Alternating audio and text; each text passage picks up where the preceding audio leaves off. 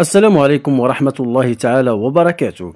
بعد تفجر فضيحة الجنس مقابل النقط أخنوش يعفي عميد كلية القانون بسطات بعد هذه القضية ووزارة التعليم العالي توقف رواتب ثلاثة أساتذة متابعين. نشر موقع جريدة مدار أن رئيس الحكومة عزيز أخنوش وقع صباح اليوم الثلاثاء قرار إعفاء عميد كلية العلوم القانونية والسياسية بسطات.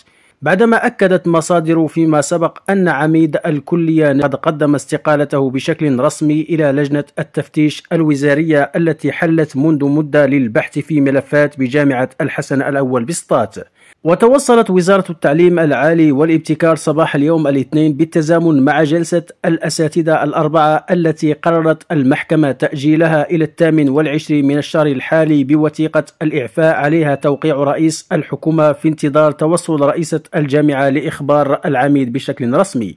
كما شرعت وزارة التعليم العالي اليوم في مسطرة توقيف رواتب الأساتذة الثلاثة المعتقلين على خلفية الجنس مقابل النقط حيث قررت وزارة التعليم العالي والبحث العلمي إيقاف صرف أجور الأساتذة الثلاثة المتابعين في حالة اعتقال في ملف ما أصبح يعرف بملف الجنس مقابل النقط بسطات.